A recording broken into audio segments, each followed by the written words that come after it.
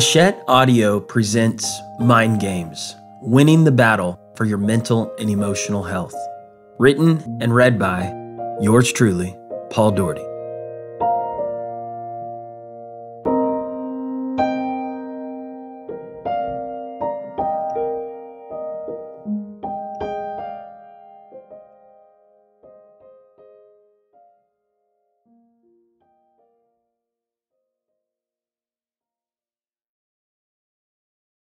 This book is dedicated to my wife, Ashley Hope Daugherty, and our five children, Liam, Benaiah, Mac, Ellie, and Gianna. To also my late father and my mother, and to our faithful church family of victory. I am forever grateful for the faithfulness, love, perseverance, grace, and Christ like example from my wife, from our kids, from my late father, my mother, and from Victory Church. Most important, I'm thankful for the gift of knowing Jesus as my personal Lord and Savior and the testimony He's given me to share this message of winning in the mind. Lastly, I dedicate this book to you. The personal stories, hard lessons, crazy adventures, hidden scars, embarrassing failures, and private triumphs I share are for you. I pray that this book gives you hope, grace, truth, life, and victory in the battle for mental and emotional health. Introduction Dad, me, and the key to victory. God, please help me. I cried as I collapsed with my back against the outside door to our church. Here I was again, for what seemed like the thousandth time, locked out of the church.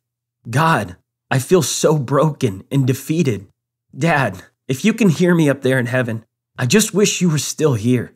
If only you were here, things would be so much better in my life, and especially in our church. The tears kept flowing. I hadn't cried like this in a while. I'd been holding so much inside for the last few years, and it was like the dam had burst. Finally, with my voice cracking and my body shaking, I let out one last broken prayer Jesus, I could really use your help right now. I just feel locked out of everything. I didn't know it yet, but God was listening and was about to answer that desperate plea for help. Have you ever been locked out of something? Locked out of your car, your locker at school, your house, your social media accounts, or your office? I used to get locked out often. I could never seem to remember my keys or where my keys were or what my password was. Maybe you can relate. Maybe you've felt that frustration of trying to figure out a way in or troubleshooting passwords to see if any of your old pet's names with random numbers or capital letters might work. My frustration that night wasn't just that I was locked out of the church building. For a long period, I had felt locked out of every door I was supposed to be walking through. This book is about your mind and your heart, and more specifically, how to win the battle for mental and emotional victory. I truly believe that God has given you and me the keys we need to access a life that is full of joy, faith, peace, grace, and victory. I believe God wants each of us to be fulfilled in His unique purpose for each of our lives, equipped with His power to walk in victory over worry, depression, fear, anger, regrets, shame, and hopelessness. But during that season, I felt like I was locked out of hope. Hope in my heart. I felt like I was locked out of joy in my spirit, locked out of peace in my mind, locked out of forgiveness towards people, but mainly locked out of experiencing a life that felt fulfilling. That dark season started with a phone call from my mom. I was at my parents' house that evening. I'd gone over to jump in their pool on a hot September day, and after I finished swimming, I had started practicing playing my guitar. Hey, Paul, I need to tell you something. This is really hard. Paul, your dad's up here at the hospital. Hmm. I didn't know why she was talking like that. Um, okay, Mom. I'd been tuning my guitar when she called me and I settled my fingers back on the frets. Uh, who's he praying with, Mom? He's always up there at the hospital praying for people. You see, my dad was the founding pastor of our church. Victory Church in Tulsa, Oklahoma, with more than 14,000 members.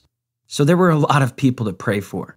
He was the founder of Victory Christian School, a large private school in our city, the founder of Victory College, the Tulsa Dream Center, and Camp Victory. So the man was always busy, taking care of people. He was always out and about during the week, meeting with members, meeting with staff, meeting with contractors, meeting with anyone else who needed to see him. So making hospital visits was a regular part of his routine. No, Paul, he's not up here praying for someone. There was something in my mom's voice that finally caught my attention. So I put my guitar down. Mom, what are you saying? Paul, your dad just checked into the hospital and you need to come up here and see him. Oh my goodness. Of course. I told my mom I would be there in just a little bit. I was shocked. I was nervous. I was sad. But most of all, I was just stressing out. Why in the world was my dad in the hospital? There were some really raw, unedited emotions that began to pour out of me that day. And I want to be clear up front here. This book is full of some of the most painful learning moments in my life. And they're not always pretty. But somehow God used those moments to be a catalyst for his greatest healing moments later on in my life. I've found that being open and honest about my pain, my shortcomings, my learning moments has led to me being able to relate with most people I serve as a pastor, and much more than just sharing my achievements. And I'm hoping the same holds true as an author. So here goes.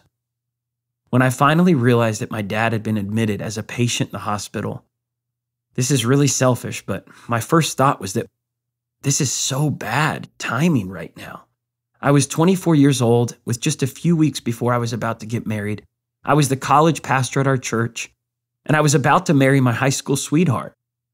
Because I was the college pastor at my dad's church, I knew that him being sick meant I would have to cover for him around the church and possibly move my wedding. In my defense, it never really crossed my mind that my dad could be seriously ill.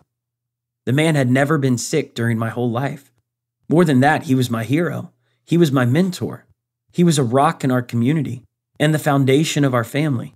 I genuinely believe there was no wind or storm that could budge his place in our lives, in my life. I was wrong. The truth hit me as soon as I saw Dad in the hospital bed. He did not look good.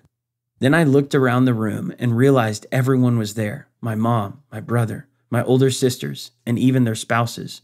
Something was up. What in the world is going on? The doctor came in before anyone could answer, and he laid it out straight. I was too shocked to process everything he said, but several words broke through the haze and seared themselves on my mind. Words like malignant and lymphoma and hospice, and the big word, cancer. My dad was dying. I couldn't believe it. I wouldn't believe it, but it was happening regardless. That weekend, Dad wasn't in the pulpit for the first time that I could remember. He was one of those guys who made a point to preach 52 Sundays a year, every year. So the absence was glaring.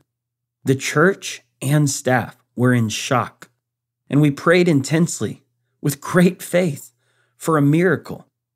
As his son and also a support pastor for the church, I felt so much pressure, along with my other family members. We were trying to keep our faith. We were praying for a miracle. But privately, I was battling so much fear, so much anger and doubt in my mind and my heart as I watched my dad, my hero, the most faithful preacher I knew, grow weaker and weaker by the day.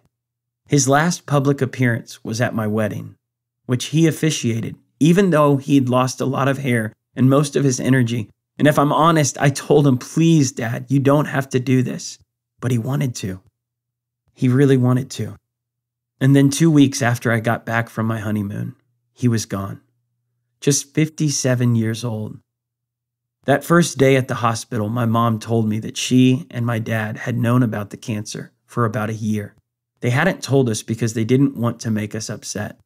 Dad didn't want anyone to worry. I still marvel at that sometimes.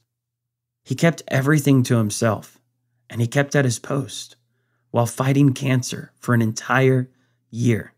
That's the kind of man he was. That's the kind of man we lost as a family, as a church, and as a community. and none of us had any idea what to do next. Locked out. There's a reason I'm telling you about my dad's passing, and that reason is directly connected to the theme and purpose of this book. I'm going to get there, I promise. But first, I need to talk about keys. Growing up as a pastor's kid, I was always at the church building for one reason or another. I guess I should say buildings, because our campus had a lot of them.